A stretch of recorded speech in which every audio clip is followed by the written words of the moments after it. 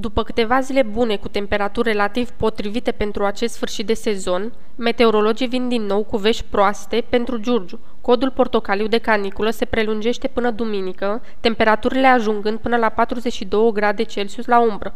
Giurgiuvenii se pare că s-au obișnuit deja cu gradele ridicate din termometre. Ei se deplasează în primele ore ale dimineții sau seara, pe cât posibil, prin zonele umbrite, nelipsându-le nici de cum îmbrăcămintea lejeră, ochelarii de soare, pălăria și sticla cu apă.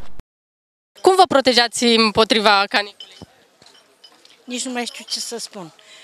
Că ce acasă nu dorm decât două ore pe noapte. Stau la patru și e o căldură de simt că nebunesc, nu alta.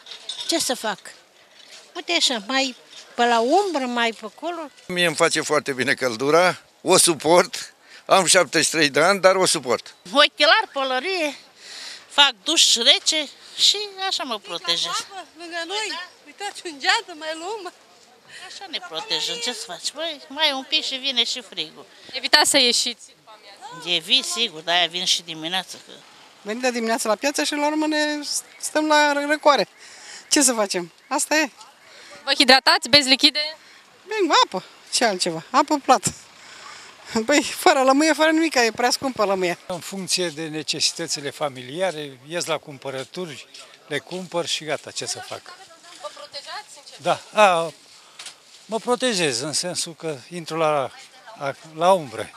Ai pe mă rece, sigur că da. Asta e filozofia noastră. Zilele caniculare pot crea serioase probleme de sănătate, mai ales copiilor, bătrânilor, dar și bolnavilor cronici. Potrivit medicilor, în perioadele de caniculă se dezvoltă infecții de tract respirator, laringite, sinuzite și sensibilitate la aparatul de aer condiționat. Canicula reprezintă o mare problemă pentru partea de sud a țării, aici unde ne aflăm, în zona Giurgiu, și mare problemă reprezintă diferența de temperatură versus umiditate.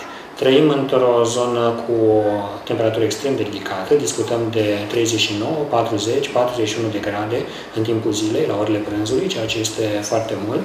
Temperatura la soare poate crește și mai mult în uh, arșița prânzului. De aceea recomandăm pacienților cu vârste extreme, copiilor, până în 10-12 ani și vârstnicilor, peste 65 de ani, să nu iasă din casă la orele de vârf adică dincolo de ora 10 a zilei și undeva până la ora 18-19. Am să recomand tuturor pacienților să se hidrateze adecvat, ceea ce înseamnă să consume un adult între 2 și 3 litri de lichide pe zi, un litru jumate copiii, 2 litri vârstnicii. Cu atât mai mult cu cât pacientul are o insuficiență renală, are o tulburare de uh, concentrare a urinii, se formează nisip în urină.